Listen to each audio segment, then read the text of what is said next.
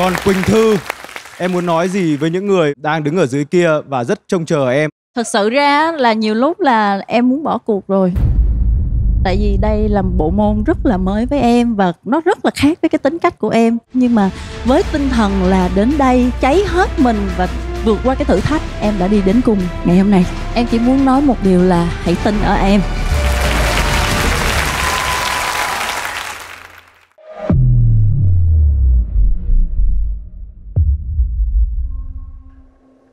Con sẽ không nghe lời ba đâu. Con! Nếu con cứ mãi bướng bỉnh như vậy Thì con đừng có trách ba. Ba giam cầm con Hay cho người theo dõi con mỗi khi con ra đường. Ba cấm con tới công ty Không cho con giao tiếp với bất cứ ai. Có phải ba muốn làm như vậy với con không? Sao lúc đó mình lại diễn như vậy ta? Đáng lý ra là phải quyết liệt hơn chứ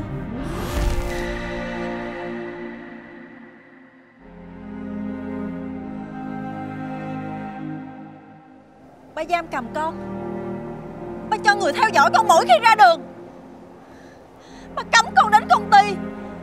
Ba không cho con tiếp xúc với bất cứ ai hết. Có phải là ba muốn làm như vậy với con không?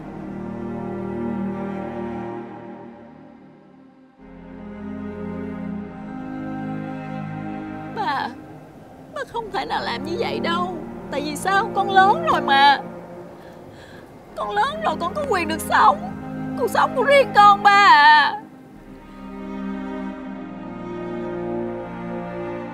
Con có quyền được sống cho riêng mình.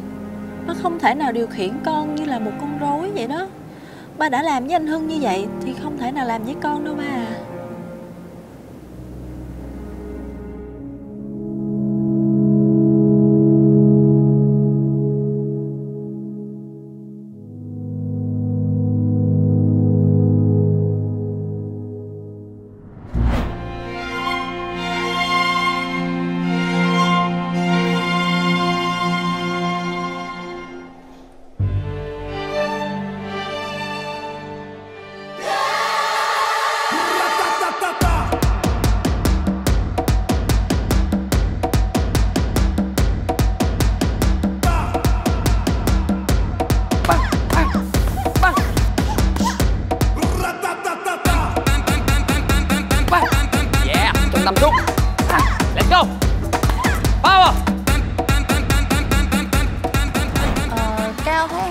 Hả? Cao Thái Hà thì thật sự ra hai đứa cũng ngang cơ nhau thôi.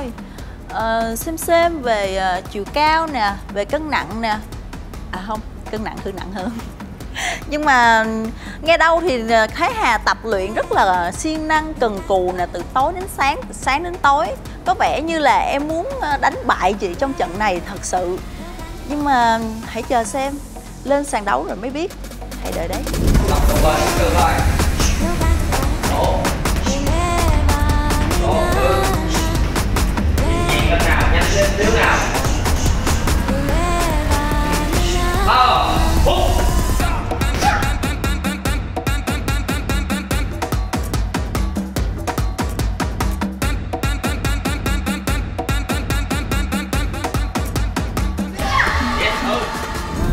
Chiến lược của Thư hả? Thật ra thì Thư không có chiến lược gì hết Thư chỉ cảm thấy là sự kiên trì nè, kiên định nè Và cố gắng đi tới cùng Đứa nào lì hơn, đứa đó sẽ thắng Không cần nhanh, miễn là đừng dừng lại Cảm ơn Nova World Phan Thiết đã đồng hành cùng chương trình.